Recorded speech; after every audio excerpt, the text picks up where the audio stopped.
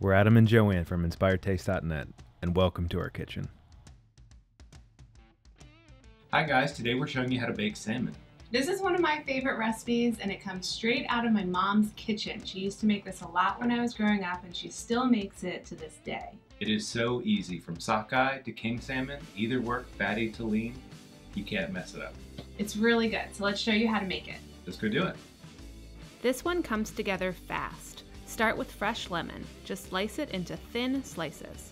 Grab some fresh herbs, we love dill, and make a bed in the bottom of a baking dish large enough to fit your salmon.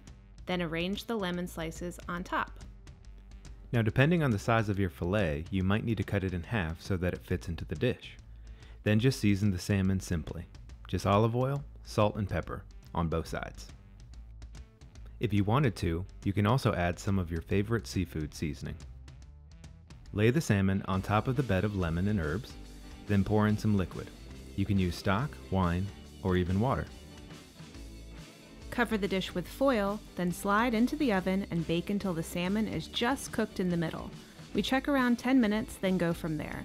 Keep in mind that a thicker piece of salmon will take longer than a thinner one. When it's done, take the salmon out and let it sit for about 5 minutes. Then scatter more fresh herbs on top. Enjoy! Thanks for watching. If you love this video, we have lots more. Make sure you subscribe to our YouTube channel and say hi on Facebook, Twitter, or Instagram. We're at Inspired Taste.